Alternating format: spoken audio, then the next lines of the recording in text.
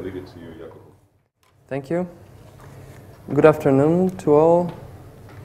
Do you hear me? Yeah, because I don't know if this is working. Okay. So, uh, well, thanks to Michael and to TrAIN for the invitation. It's really a pleasure to be here.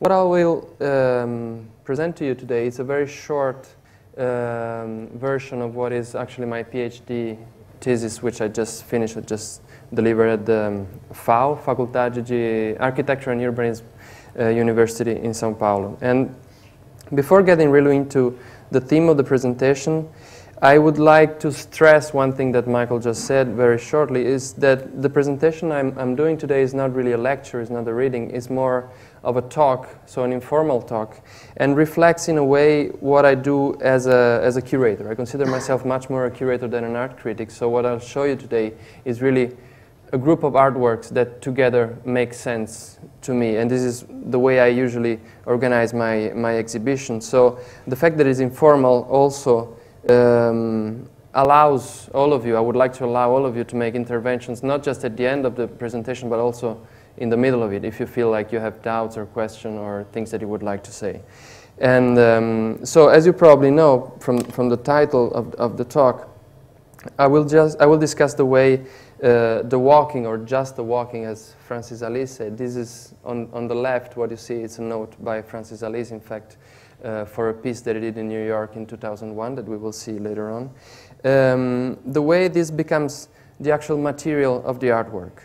Even to professionals who work in, who work in the art world, I notice that it comes often as a, as a surprise to see how many work or how many artists actually use this strategy, this medium, so to say, for, for, to create their, their work. In the PhD I told you about, I list more than 250 works that actually deal with this theme from the end of the 60s until today, more or less. Of course, today we will see much less, and mostly, although not um, not only works that are more recent, not from, and there are a few works from the end of the 60s that I will show, but most of them are from the last two decades, more or less.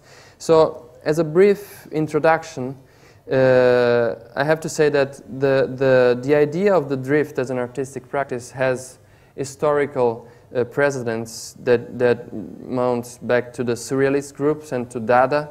But what I will base my, my presentation on today is more of the, um, on the international situationist, the situationist theorists, Guy Debord especially, who, not just because they were very important, of course, especially the theory of the derive, the text Debord wrote in 1958 is very relevant in this context, but mostly because all the issues, all the reasons why the situationists um, theorized the derive as an important strategy, also a revolutionary strategy, as they said, are still valid in my, from my point of view to what happens today, to the, to the works that today use the act of walking. So uh, Debord, in his text, started by saying that one of the basic situationist practices is the derive.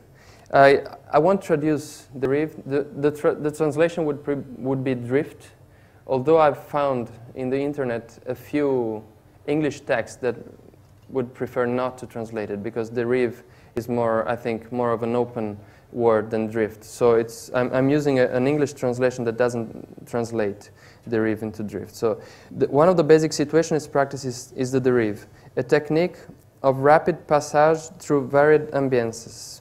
Derives involve playful, constructive behavior and awareness of psychogeographical effects, and are though quite different from the classic notions of journeys or stroll. Debord then uh, goes on by saying that the, derive consists on wandering, mainly on foot, but eventually by other means, choosing on the spot and randomly the way to go. And he also emphasizes the mainly urban nature of the derive and the fact that one can drift alone, but to do it with others in small groups of two or three people is more reward rewarding.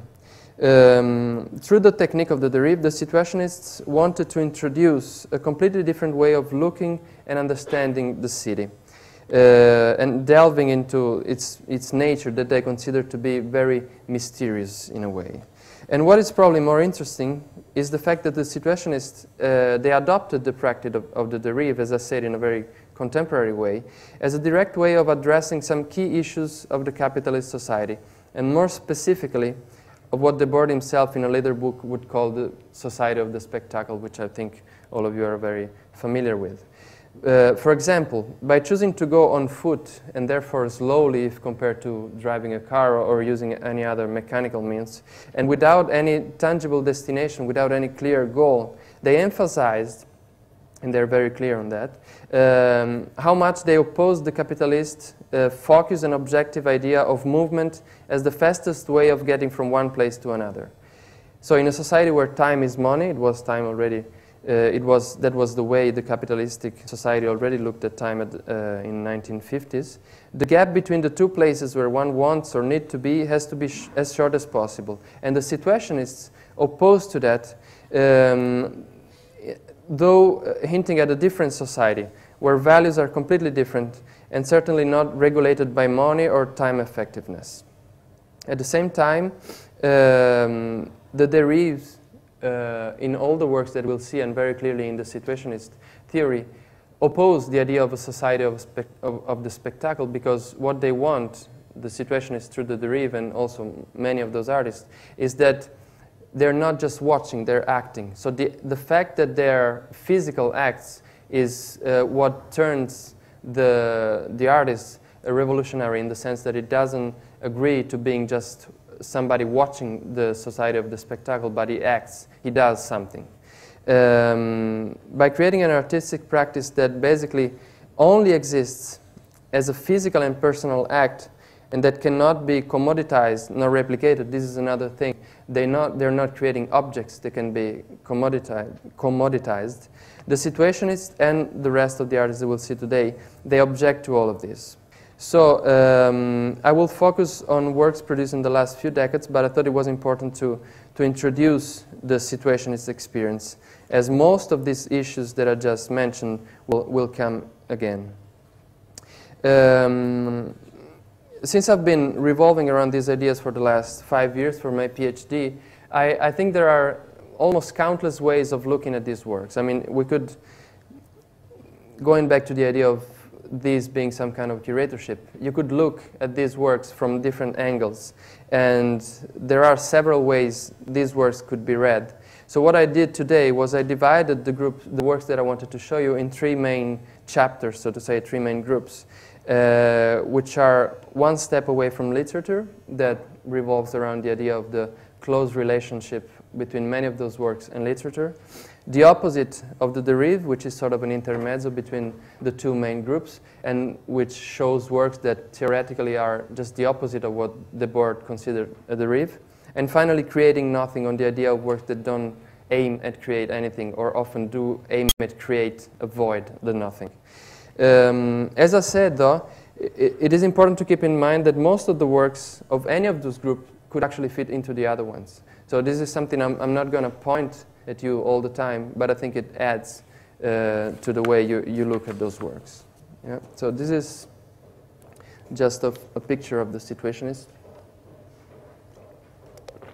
in 1957 when they were in, in, in Italy, I think, this, this image. So this is the first group, one step away from literature. Um, this is a quote by Borges, Argentinian writer. The steps a man takes from the day of his birth to the day of his death trace an inconceivable, inconceivable figure in time. The divine intelligence perceives that figure at once, as man's intelligence perceives a triangle. That figure, perhaps, as its determined function in the economy of the universe. Um, so the groups that are uh, that I show you here relate to the idea of, of, of being close to literature. And it could be said that contemporary art, if compared to previous moments in art history, are not really interested uh, or not so interested as other periods in creating narratives and counting stories, at least not in conventional way. And more often they try to create an atmosphere or a situation. And it's funny to see how the Derives, though, uh, probably due to their very nature, which is the fact that they don't aim at creating an object, and also the act that takes place is necessarily not an, an act that can be justified uh, in the sense that it has an, an objective or a goal. Uh, they often create a situation where a story is recounted. often it's just the fact the act that actually takes place that is recounted, whether through some recording of it or actually being written. And this way, the work becomes understandable, or at least it becomes knowable. So this is the first work I wanted to show you. It's a work you probably are familiar with, it's, it's because it's a very famous work. This is Vito Acconci's Following Pieces, a work by 1969. Uh, I guess you all know it, but anyway, during 23 days, Acconci chose randomly in the street people he would follow, and then he would follow them either for a few minutes until they vanished somewhere or for several hours during the whole day. So um, this is a very important piece to begin with because Acconci began actually as a poet, so, so the relation with literature is very present in his work. And this is actually one of the work that marks the shift from his poetry activity to the um, more art-related works, in the sense that these pieces were intended as a way for him to gather material for his writings. So the piece is actually the writing and not what you're seeing. Actually, this image, uh, it was later proved that this image is a stage image. This is not really one of the following pieces. And this is an issue that I'm not going to really go into today, but I want you to keep in mind. So all the images that we see are in a way contradictory, because if we said that what matters in a derive is the act and the fact of physically taking place into an action and not showing it or looking at it, the recording of it is in itself uh, a delicate issue.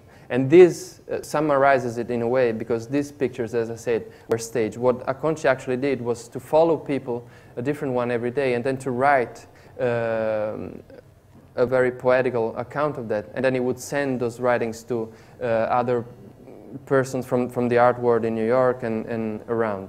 So they are actually, the pieces are actually literature beside being an act. Uh, and also, this is an, a very good work to begin with, because to start this group with, because it generated uh, other works that took place in, in, in, later times that are actually very, very closely related to, uh, similar to this one, although not always this precedent is um, acknowledged, so to say. And this is something that we will see that often happens. This is a piece by Francis Alÿs. It's actually a series of works that he's been doing um, since 1998, and he still does. There is a text that he wrote on this, and it says, When arriving in a new city, wander looking for someone who could be you. If the meeting happens, walk beside your doppelganger until your pace adjusts to his or hers. If not, repeat the quest in the next city.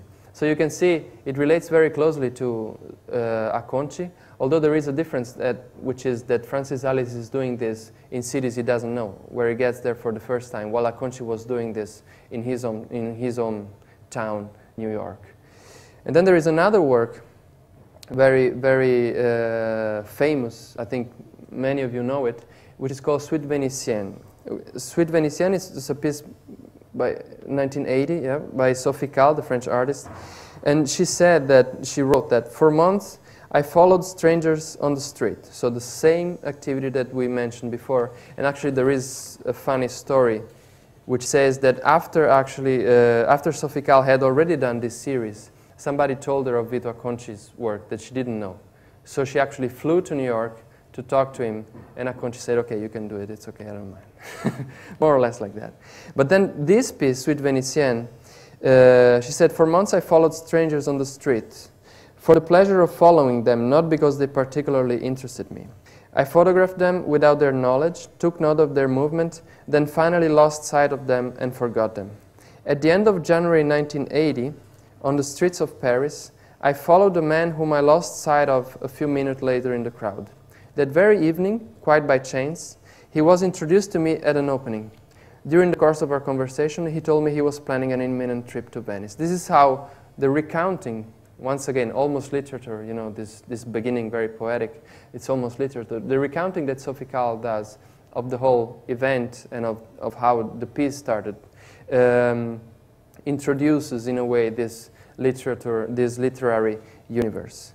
And then we have another work which also very closely reminds of Vito Acconci. This is Francesco Jodice, an Italian artist, and the work is called Secret Traces. And what he did here was sort of in the middle between uh, Francis Alÿs and um, Vito Acconci, he got in touch with people in other cities where he had never been before, and he advised them or informed them and asked authorization to follow them. So the people would know, they, they knew they would be followed, but they didn't know when. And this was, although he didn't acknowledge the, the, um, the president, neither Vito Acconci or Francis Alÿs, who actually started the doppelganger more or less in the same time, was, uh, in, in the artist's world, was actually a way to get to know the town. So it's very similar to what Francis Alÿs was doing. And he wanted to get to know the town through the movement in it of somebody who actually lived there a different work that actually um, invites not or is not a recounting of what the, the artist did, but it's an invitation to, to, to the public to do that, is Janet, Janet Cardiff. This one is Drogan's Nightmare. I, I chose this one because it's from 98 as well, so the same year again. But actually, this is part of a bigger series you might, or I hope some of you are familiar with, because it's a really amazing series of walk. It's called the walks actually. And they, they function this way. You get um, a Walkman, a CD Walkman, and you put it on your ear. And then a voice, which is usually her voice, starts to, to talk to you. And she tells you what you're supposed to do. So she tells you to walk, usually outside of the building, and she leads you for, for a walk that usually takes like 15 minutes, 20 minutes, half an hour. And throughout this walk, she once again recounts a story, which is very, very literary, as most of her works are. But what is amazing here is that what takes place is actually exactly what Francis Alÿs tells, to do, tells the visitors in a new city to do. Because she usually starts, when uh, she first starts talking and then she starts walking.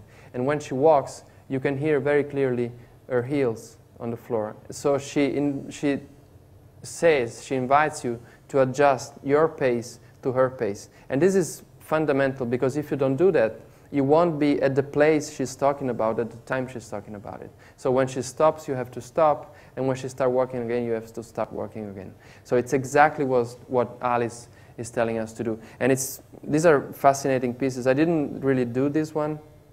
I did another one in Münster in the sculpture project. I don't know if any of you had been there. It's really amazing because Münster is a typical small German city, you have bicycles, bicycles going around all the time. So she says, now cross the street, watch out for the bicycle, and there's a bicycle going through the, every time. It's amazing. It's really amazing. And finally, um, this other work by Sophie Calle, uh, which is called La Filature, is from 1981. And in this work, what she did, Sophie Calle asked her mother to hire a private detective, and the private detective followed her for several days. And in this case, instead of being the artist, um, it was the private detective who was writing and describing what was happening. So it's sort of uh, uh, the opposite of what Acconci might, might do, for example. And it's fascinating and it's important, of course, to, to talk about Sophie Calle in, in, a, in this group of, of works that relate very closely to literature because uh, in fact, the artist herself became the protagonist of a book by Paul Auster entitled Leviathan. Uh, in this book, there is a character whose name is Maria, and this Maria follows strangers to photograph them, and is uh, Auster admitted that it was based actually on Sophie Calle. And even more interestingly, a few years later, Sophie Calle asked Paul Auster to write uh, about a character that would be an artist and that would perf perform the works that Calle hadn't performed yet. And then eventually Calle actually did the work that Auster described before her. And this is now uh, in a book called Gotham Handbook, if you're interested to, to, to look it up. It's a very interesting book. So it's, it, it's an interesting thing how many of these works that you just saw revolve around the idea of the artist as a follower or more specifically, like this work and other works, a detective. So, um, a detective that is following somebody or is being followed. On the other hand, um, in some cases, the strategy is the opposite to that. And in, in a sense, more similar to the, the idea of Borges that I mentioned at the beginning, of a figure, of an imaginary figure that by walking is, is created. And a good example of this, um, although not, literary, not artistic but literary, is actually in a book by Paul Auster, another book, The Trilogy of New York.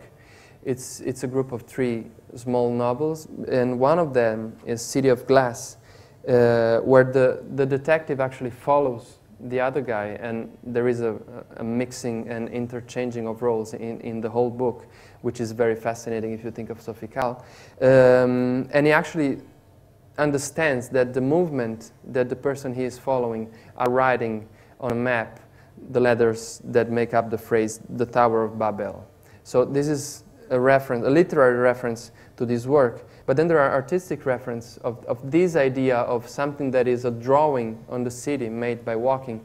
This is another work by Francis Alÿs, Fairy Tales in 1995, which is obviously interesting here because A, it points to the idea of literature once again, the idea of the work being a fairy tale, and B, uh, it is a work that, I mean, it's very clear from this image. He, he, from his jersey, he, he pulled uh, part of this rope, a thread of the rope, and he just made a, a knot to a nail and just start walking, and, and the, the jersey would just un, undo it, undo itself.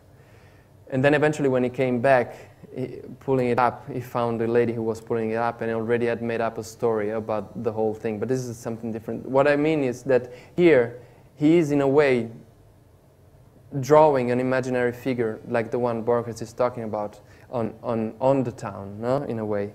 Um, so this is so much for the idea of the fairy tale. And also there is a nice uh, work by Francis Alÿs, which I don't have here, but if you want to see it, you just have to cross the street. It's a Tate Gallery, it's a video. I don't know if you've seen it. Uh, it's called Pacing. I think it's called Pacing. In, in this work, what it does uh, is to he has a stick in his hand and he just goes on, on iron bars all around the town. And what he does is he makes a song out of it. And this relates to the idea of counting and creating, um, and the way walking is a way of counting and, and measuring the word. And this is what also happens in this work. Now, this is called pacing. I'm not sure about the title of the other one here at, at Tate. But this one is actually drawing. This one is the work that actually he realized based on, on, the, on the writing at the beginning of the lecture that I show you, where he said just a walking from west to south and north to east and so on. So this is actually his uh, itinerary in New York, and it's, you cannot really see it, but he counted the number of steps that he, go, that he took in every direction. So this is really a way of counting the word by walking. And it relates very closely, although I am not sure he, he acknowledged that, to what conceptual artist Stanley Brouwn, Dutch artist, did in the 60s and 70s. He did a whole series of, of works that was actually just about counting his steps in Germany, in Switzerland, in Italy, in a lot of different places. And finally, to end this first chapter with the idea of walking and drawing by walking, I wanted to show you this work, which is, um, if not the, the newest work I will show, which I'm not sure of, not sure of, it's probably the most technological one. This is a Finnish artist, Antti Laitinen. This work is actually a series of work because it's called Walk the Line. So what he did, he walked with a GPS in several towns or in several different places and then superimposed those different walks and obviously, when he was walking, he was trying to make his self-portrait. So he was actually drawing with the GPS, and then he printed the, the, the, his itinerary with the GPS, and by superimposing it, it actually gets quite close to, to his own portrait. So it's, it's an interesting way of um, summarizing the idea of, of drawing by walking. So this second chapter, as I said, is more of a, an intermezzo in the sense that it's um, also a joke in a way. Because what I'll show you here are works that deal very closely with the themes we're talking about, and that's why they're interesting on, from my point of view. And they make total sense uh, with the idea of the derive, of the drift. But they are work that, in a way, are the opposite of what uh, Debord, and not just Debord, anybody could, could consider a drift. This is a work by Marcius Galan, a Brazilian artist. It's a performance that he did in 2002. And um, it's a collage of, of stills, actually, from a small video that he did. What he did here, it, it was a very long performance. He, um, he had this machine that was creating a, a, string, is that how you call it, from the shoe? To tie a shoe? Shoelace. Shoelace, okay.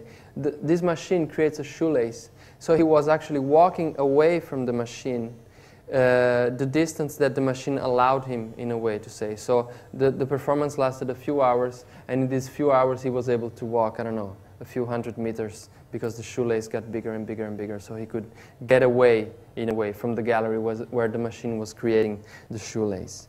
But of course, the, the most important work in, in, in the idea of, the, of a walking work, which is actually the opposite of the, of the derive, it's this one, also a work I'm sure you're all familiar with. Uh, this is Richard Long's A Line Made by Walking, which is what the title says. Tautology is also a very important issue in most of this work. So he walks, he walked back and forth several times until the, the grass was down and he could photograph this line. So um, as I said, this is in a way the opposite of the, of the reef because as we saw before, Debord suggested that the reef was done in small groups, and this was done alone. Uh, he repeatedly walking a straight line, so he was not allowed any detournement, any detour. And it is in a field, so it's not in a urban environment. So basically, it contradicts all of Debord's uh, predicaments of a derive. On the other hand, though, if you think about it, it points to the same core issues as it points to the need or to the wish of not creating any sellable art of just doing an action which is ephemeral and it, that doesn't bring anything else beside what you see. And it's a very physical act, so he's actually doing it. And I would say that the fact of doing it alone is actually, makes it actually more relevant either than making it together as Debord suggested. Um, so there are all the issues that are actually typical or fundamental in the, in the idea of the derive are also very present here although this work should, is not actually a derive. And, and interestingly enough, like Acconci's following pieces have generated or resonated in, in, in a lot of later works, this work actually is present in, in what contemporary artists are doing. This is a video by another Brazilian artist, André Komatsu. This, it's called in English West or Until the Where the Sun Can Get. And what he did here, he was walking, uh, always following the west, and trying to go over all the obstacles and uh, the um, impediments that, that the city inevitably, of course, creates. So it was a struggle to, to keep this west direction against the city, which obviously he failed to do. And then this is a video. The, the video just stops every time he has an obstacle he cannot go over. And uh, an English artist actually did a very similar piece. Simon Faithfull is this is a piece from 2010, so very recent, and as it said in the press release of the exhibition, it, it says this is an ambitious undertaking in which the artist sets out to walk, climb, wade, and swim his way across the whole length of the United Kingdom, from the English Channel to the North Sea, keeping strictly to the Greenwich Meridian, the zero longitude point from which all international navigation is calculated. Um, so it's once again it's basically the same work and it's basically going straight and alone and not doing anything tangible that you can actually hold on to. So the ideas, the principles are the same. And one important thing is that this work was shown, I think it was done for an exhibition that was called Going Nowhere, which is interesting as we'll see right now why. And then I wanted to show you other works that are also the opposite of the derive, although in a completely different way. Uh, this, for instance, it's also a very famous work. You might know it. It's Cildo Meireles. Cildo Meireles is another Brazilian artist. Uh, Insertion in Ideological Circuits. It's a series of works that he did in the 70s. This one was with um, Coca-Cola bottles. Then he did other with uh, banknotes. It's a group. It's a series of work. What he did, he did writings on on the on the on the bottles that were against uh, colonialization and very political uh, charged writings. And what he did, he, he did the writing in white on, on the empty bottle so you could not actually see it. And when the bottle got filled up again, these writings would become visible. But then it was too late in a sense because the bottles were again circulating. And so this message was spreading. So although this is also the opposite of the derive, as you can uh, understand uh, clearly, it does relate in a way to all these ideas we're talking about because it was a work uh, done to circulate almost in an anonymous way, and it was done to um, oppose the society, both in this example very clearly, both the capitalistic society and the repressive society. And it was done by using a movement, so not really a derive, but the fact of a movement that takes place in completely randomly way, and probably exactly because it is random and it is not expected, it is so effective. And another wor work that is related to Cildo's is Eugenio Dittborn, a Chilean artist who has been doing this pinturas aeropostales, so air uh, painting, so to say, from the 1980s. And he began doing this to, uh, to create a way of escaping actually uh, the dictatorship, Pinochet dictatorship in, in Chile, because he knew that all artistic um, products were subject to, to a very strict censorship. But if he would just send by normal mail the, the work, it would just go through. So what he does, he always shows the painting together with the envelope he'd actually traveled in. So you can see it on the right-hand side of, of each of the painting. There is always the envelope it was shipped with. So this is something that today is not uh, necessarily so politically charged as it was when he began doing, the, doing it. But it is, it is, of course, another work that deals with the idea of movement and that somehow um, I thought it fit into this presentation here. So the last uh, group of works that I will show uh, revolve around the idea of creating nothing, which is uh, an important issue in, in, in, the, um, in the practice of the derive, in the fact that, in the sense that they don't aim at creating an object, and more specifically, as we, as we will see, they aim often at creating a void in a way. So this is a quote by Susan Sontag, 1969. A new element enters the artwork and becomes constitutive of it. The appeal, tacit or overt, for its own abolition, and ultimately for the abolition of art itself. Um, I will begin this um, group of works with another work by Francis Alÿs, not by chance. I mean, Francis Alÿs is the artist who today uses the, the act of walking more in a more systematic way, as you know probably. This is one of his most famous pieces, I think, Paradox of Praxis, which has a subtitle that, is, that says, Sometime doing something brings to doing to nothing. And it's a piece from 1997. And what he did here, uh, as it is very clear, this is, there is a small video actually, if you look at it in, in, on YouTube, you will see it. But what he did, he took this ice block which is, interestingly enough, a very pure form, almost a moder modern form, and then he pushes it through uh, Mexico City until it just vanishes completely.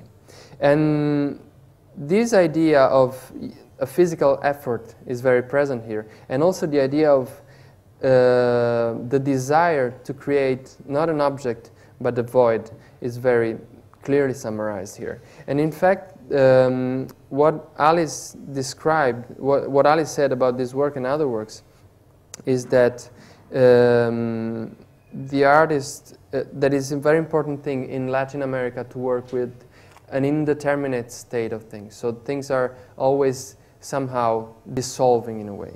And another thing that he, he relates very clearly to the politics of, of, to the political conditions of Latin America is what he called the politics of rehearsal, which is another recurrent theme in his, in his work, and which could be related to other works that we saw before, and also considered the opposite of the derive, because if you think about uh, a rehearsal as uh, a, ten, uh, um, a training to do something, it goes completely on the opposite of what the situation is, with emphasis on, on random and chance we're, we're suggesting. Um, so this work is called The Rehearsal, and it's, it's a very nice uh, video. I don't know if you've seen it. it what you see is this uh, Volkswagen Beetle. It goes up and, and then comes down again uh, for, for the whole video. And the, the soundtrack is a group of danzón, a typical Mexican music that is rehearsing. So what, did, what happens is that they start rehearsing, and when they start rehearsing, the, the Volkswagen starts going up. And as soon as one of them loses track and they have to stop, the car just comes back again. So it goes and comes back again, goes and comes back again. So it's very clearly, and, and he actually describes it quite well, that it's not going anywhere. It's creating a void, like I said, creating nothing in the sense that it's just an infinite repetition. It's, it is in a way a rehearsal, but it is in a way also almost a Sisyphus effort of just, you know, bringing the stone up and then it would just eventually fall down again.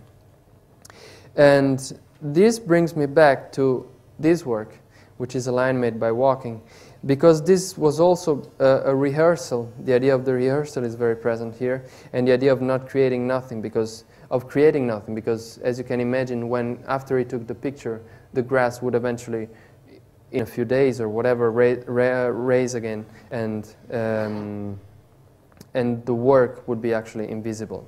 And on this work, uh, there is actually a statement that, he, that uh, Richard Long gave, which says, my first, work, my first work made by walking in 1967 was a straight line in a grass field, which was also my own path, my own path going nowhere.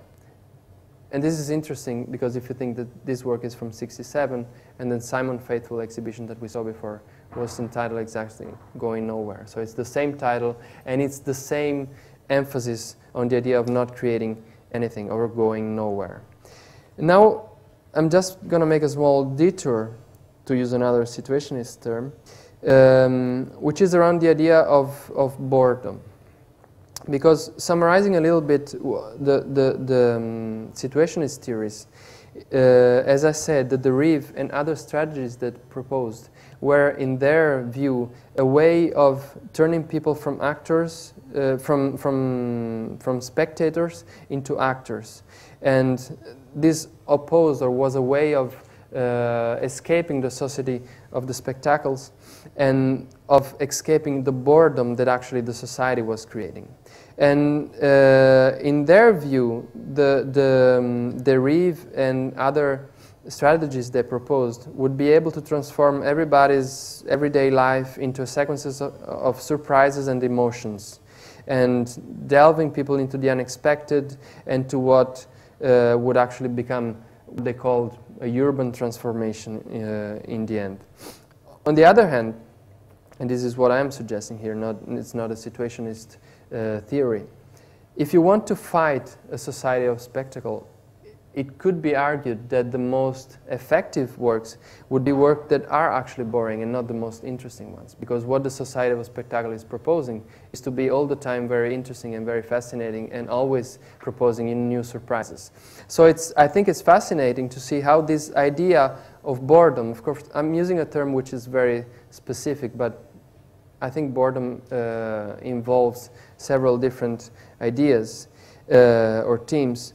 Um, so this work, the fact that these works could be considered in a way boring in doing them, like here, walking back and forth several times in a grass field, or, or by looking at them, uh, it's, from my point of view, very interesting. So the very idea of repetition, of not having a culminating moment or an image that summarizes the action, which is another thing that happens, because this, the in basically all the cases, don't have uh, a culminating moment. Nothing ever happens. They just go on and on until they stop. Uh, all this um, somehow relates to the idea of boredom, of not being exciting in, in a way.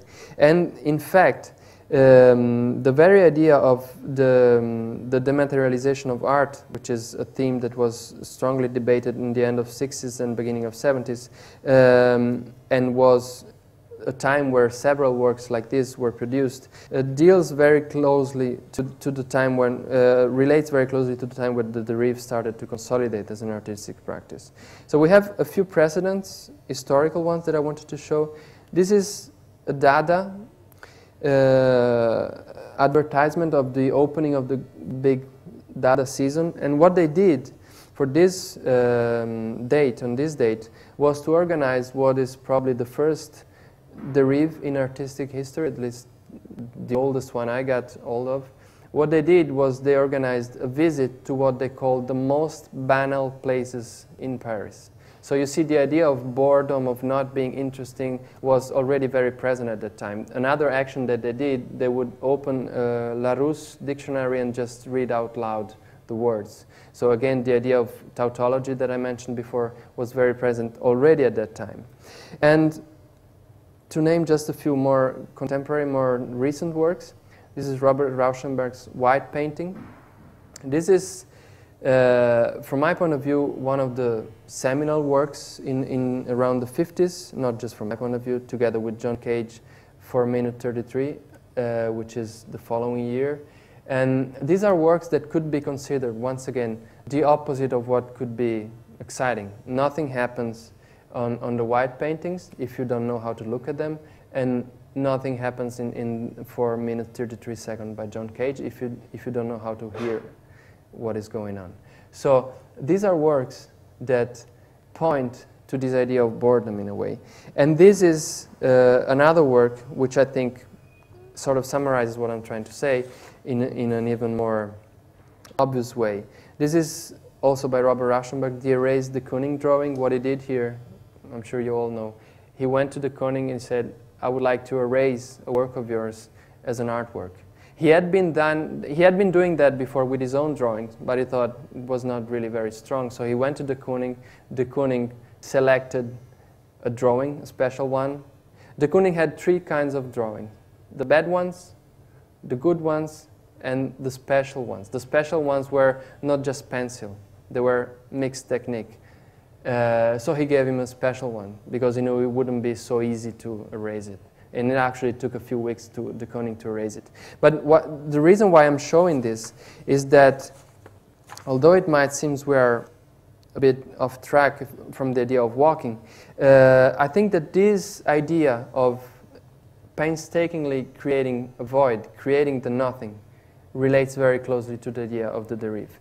And in fact, um, it was very fascinating for me to discover during the, my researches for the PhD that Bas Jan Ader, who is a Dutch artist who, who disappeared actually at sea in 1965 during this, the creation, the, the production of this work.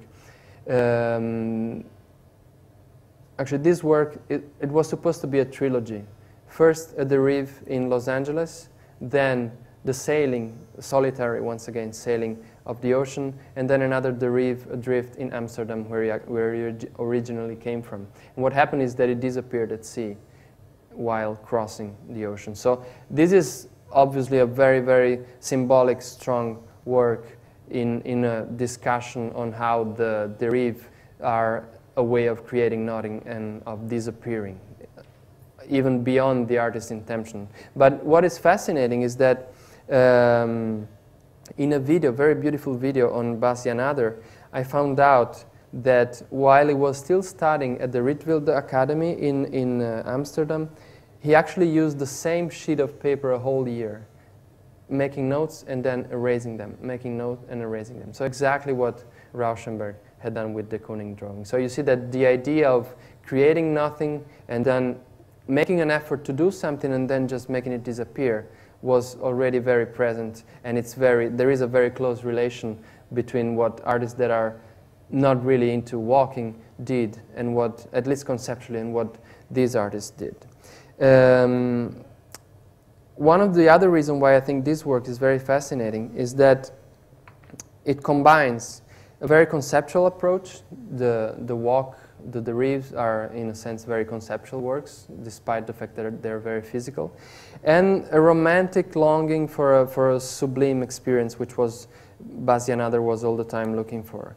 Uh, so it sort of brings together two apparently at least, opposed approaches to life and to art. And this is the characteristic, I would say, of many, uh, many derive, many walking pieces, especially those who, that involve an endurance in a way. This is another very famous piece, was the last piece that Marina Abramovic and Ulay did together in 1988 when they were, you probably know, they, they did uh, throughout the 70s and 80s a lot of works together as a couple in work and life. And then in 1988, they decided to split. And what they did, they did this last great uh, performance. One, uh, Marina started walking on one side and Ulay on the other side of the Great, uh, the great Walk, uh, the Great Wall in China, and then they uh, met in the middle and they separated for good. So this is another work that involves a very, very uh, strong physical effort. But on the other hand, is a very poetical and almost utopian work in a way. And the last work I want to show you is a work, once again, by Francis Alÿs, um, which is called When Fate Moves Mountains. I don't know if you've seen this video. This has also been seen quite a lot. What happened here was uh, Alÿs was invited to participate in the um, Biennale uh, in Lima, in Peru, and he, he conceived of this uh, beautiful action, which is actually a very symbolic one. What, the, what he did, he called um, volunteers to move a huge sand dune. This is a sand dune, like many others, that is almost uh, swallowing part of the outskirts of, of Lima, actually a satellite city.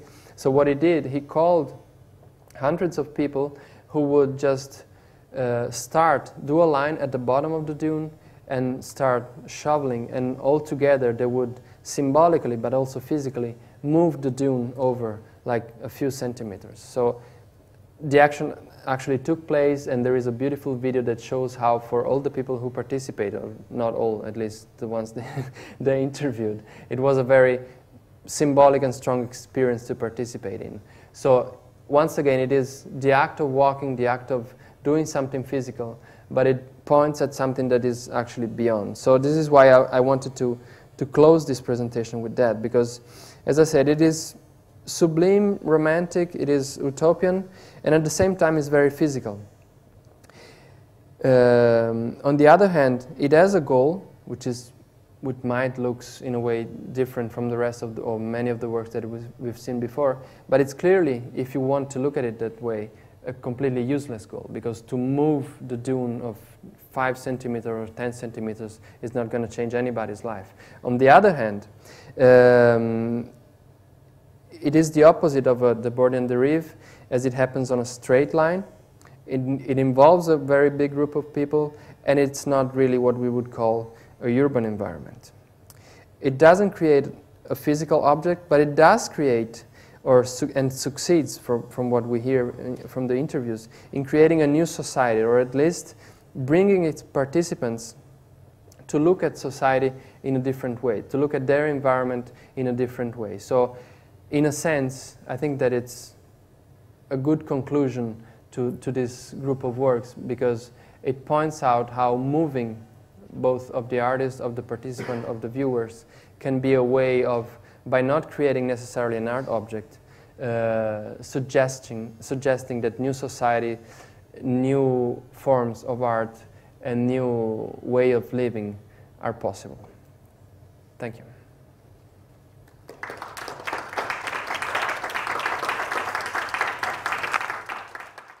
Okay, I'll, I'll, I'll interrupt you because I don't know if you know the story of, of Four Days, Four Nights. I don't know if any, all of probably most of you don't know it. It's Artur Barrio is a Brazilian, actually Portuguese-born Brazilian artist, very active in the end of 60s until today. He did performances, and what he did in this work that Michael is talking about, he just walked uh, for a few, for four days and four nights, and he was on drugs some of the time, not all of the time, but it was a completely hallucinatory experience.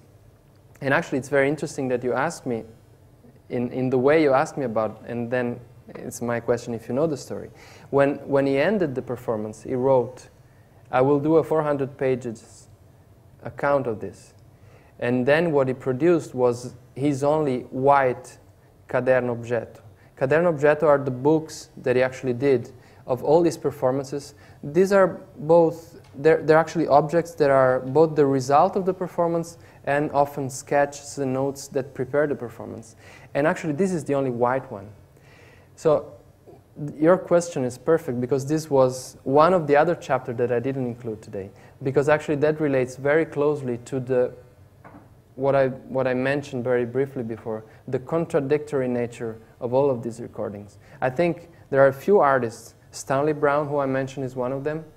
Uh, Artur Barrio, in this specific case, is another one of them, who are the only artists who are very coherent, are coherent to the bottom of it, I would say. They don't make, they're, uh, Barrio, I'm, I'm sure he fought with that. He actually perceived that it was impossible to make an account of something that he experienced, experienced in first person. And he didn't want, it's very clear to me, that he didn't want to do a simulacrum of that. Because you cannot really turn a personal, physical act into a piece of literature. Thank you so much for your presentation. I was very interested because um, I've been looking a lot at the Situationists in the, in the dérive in, in my own PhD that I mm -hmm. finished um, not too long ago, just uh, last year. And as an artist, I was looking at the dérive in the context of um, a contested territory, so a, a, the divided city of Jerusalem, mm -hmm. and what it meant to sort of walk in a city that has all these kinds of limitations that are psychological, physical, and and so it's really interesting for me the examples you were giving on how certain artists were not only use the dérive or drifting as a sort of strategy, but also how they ended up recording that moment. Because in how I, how, how I dealt with it was very much that in a space where things are disappearing, the object became quite important to kind of record a time that will never be because the, the city's um, sort of like a whole people's imagination of it is being sort of under attack. Mm-hmm. So the idea of that white painting that you showed of how things come to sort of um, a place of void or um, was quite, I, I liked very much how you were looking at the dérive in that way, because it, it kind of gave me a whole other um, um, idea of, of how, how, um, how looking at a walk could lead to kind of nothingness. So just a comment, actually, not really a question, but just interesting how you divided Thanks. it into chapters. There are interesting works that were done actually by walking through the border, you know that? I know, some, yeah, some of them. Actually, you did mention when the, because you've mentioned Francis Alÿs a lot, but he had done that green line yes. with, with the paint in two different cities. Yes. And one of well, he'd done that in several cities, but the crossing borders, it's a very specific one. Mm. And then at least Emily Jacir's work yes. are very, very important in that context. No? The one where she crosses a, a, a checkpoint, mm -hmm. that's a very good one. Yeah. And there's another work actually which I wanted to include today, but it would have been too much which is a piece by uh, an Italian group, Multiplicity. Do you know this work? No, I, am not. This is beautiful. It's, it's actually two videos. It was shown at the Venice Biennial. Do you remember this one?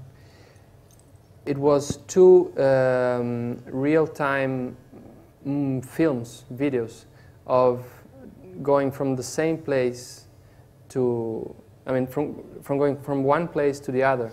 But one, they were traveling in the car with the person with a Palestinian passport and in the other with the, an Israeli passport. And one took half an hour and the other took five hours.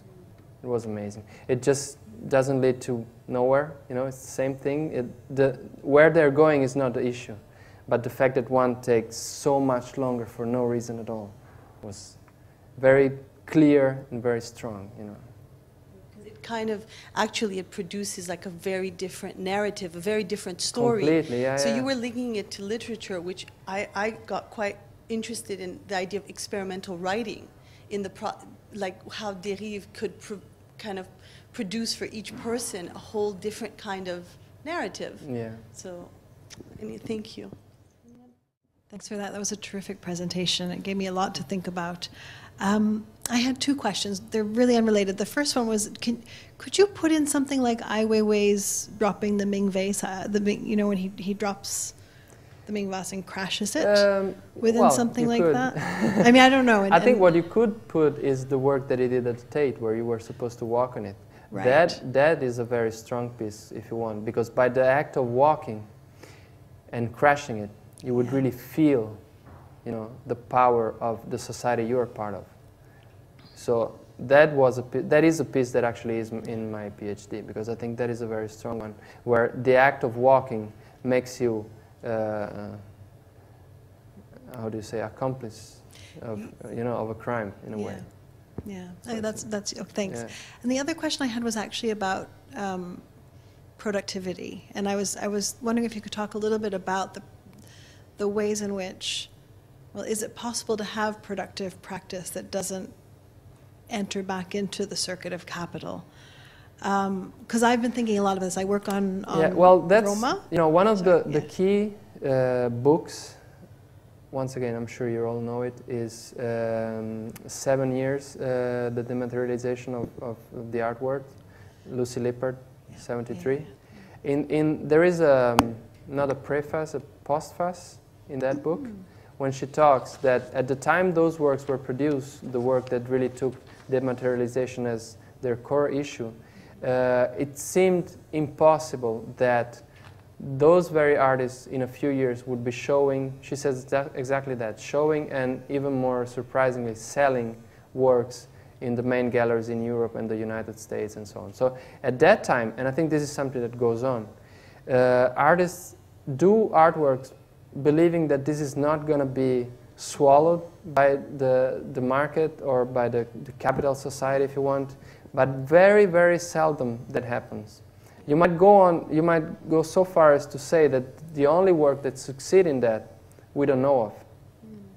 It might be, you know, like Stanley Brouwn, who I mentioned before, is not so well known, basically because he never accepted that recording of what he was doing were done. I mean, in some of his performance, like the This Way Brouwn, the drawing, the work was the drawing, so it's there. But he did a lot of performances he made no recording of.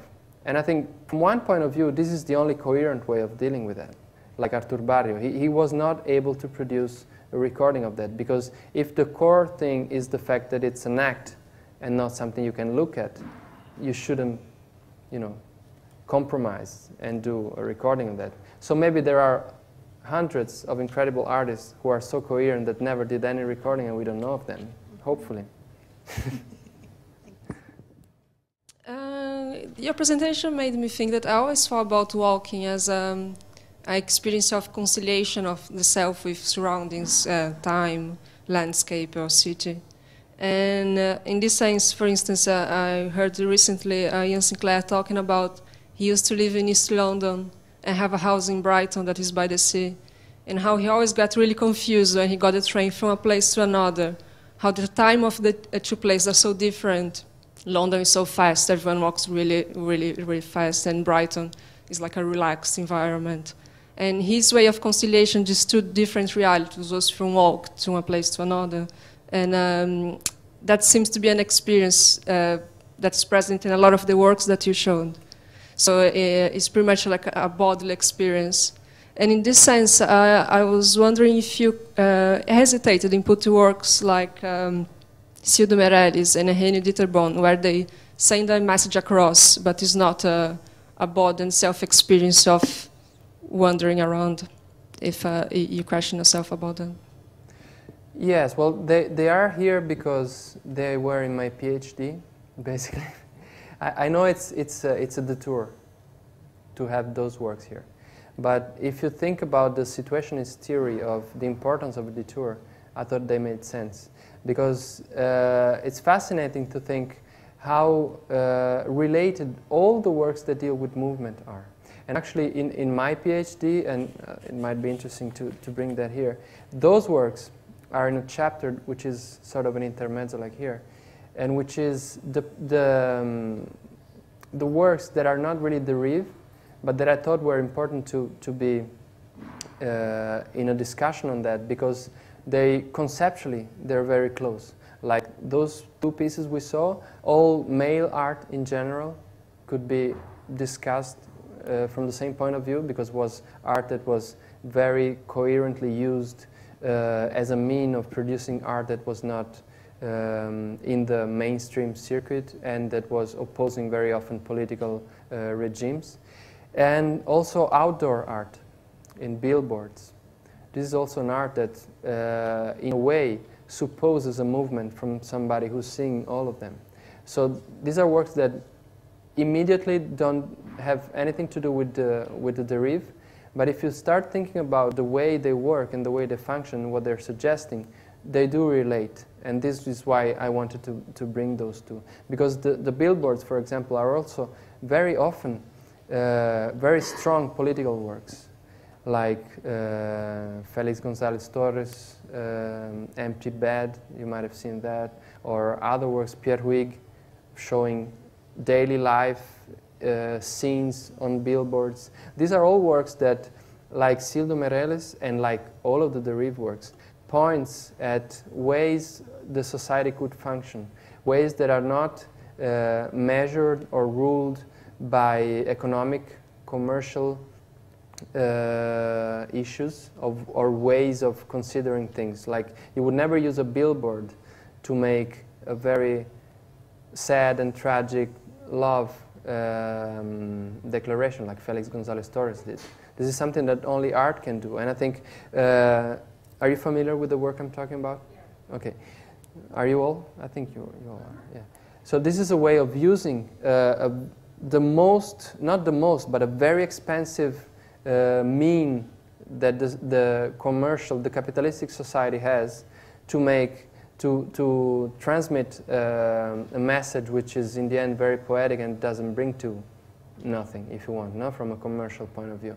And what Cildo is doing is he's doing the same thing. The, the system is so strong that it doesn't even perceive that a message against it is, is circulating by it. So it's, I think, of course, these are not derive in, in a strict sense, but I thought it made sense to insert this small detour in that, you know. Also, maybe because it's a way of suggesting that these issues are not just related to the Derive themselves. They are present in, in a lot of other works, of course.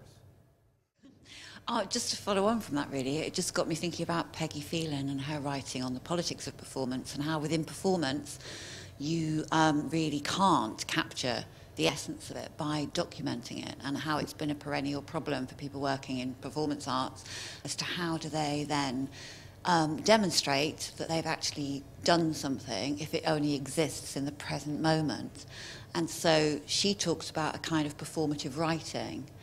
And I was thinking very much of Rancière when you were talking, and Rancière's aesthetic regime and the idea of um, parataxic writing as a, a, way of phenomenologically presenting yeah. um, embodied lived experience, which seems to be quite I think, I think Francis Alÿs touches on it slightly in some of the writing that he does, very much about being in the present and trying to articulate that, but yeah. in, a, in a form that doesn't really follow any conventional style of literature.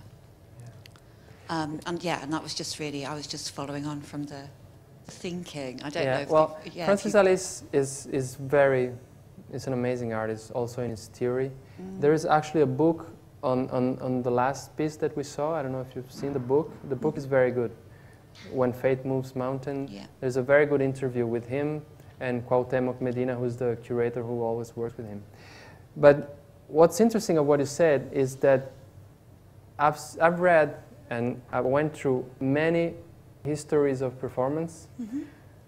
I don't know why, I mean, I have a few theories on why, but walking is not considered part of the performance art you never find any accounts of walks as performance, performative acts.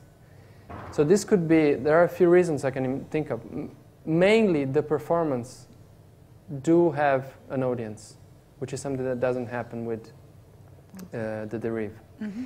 And also the, the performance usually have a theatrical uh, take on them. You know, even if it's not normal theater, um, they do have a relation with, with the idea of theater. So this is something that it's also not very present in the Derive. Um, and then there is another thing, which is, I think it's, it's important as well, is that the walking is just a normal act. You know?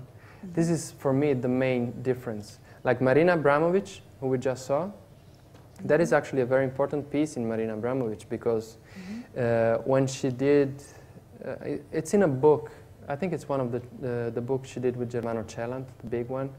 She talks about this piece, and uh, it's now in, in the book she did with the MoMA, The Artist is Present, is there for sure. She says that in that piece, and she calls that a performance, was the first performance that she did without an audience. And she felt lost because the audience was not there. So she started doing what you probably have seen, and it's very common for her today, which she called transitory objects. The transitory objects are the objects that somehow transmit to the audience what she did, like the stones, all these objects that is, she actually started creating after that. And it's funny because it's the only walk that she did, and it's the only walk that she did alone, at least for what she says. And she felt the lack of an audience, which is something you would never hear Francis Alÿs or Richard Long say. So it's really a different take on that. And what I think it's interesting is that mainly the performance um, are made by doing some very um, physical, uh, always, not always, but often painful and very stressing actions. So they are, in a way, and this is not just me saying it, other people say it, they are absurd acts in a way. And I think it's funny that walking like those artists walk is also absurd because it doesn't bring to anywhere. And this is really a core thing for, for, the, for most of the derive. Mm. But I think the fact that what they did, what they do is walking, which is the most normal act we can think of, one of the most normal act of the everyday life. No? Michel de Certeau talked a lot about walking, for example. This is what makes the derive different from the performance act. And this is why it's never considered to be part of the performance history, although it's very clearly a performative act. No?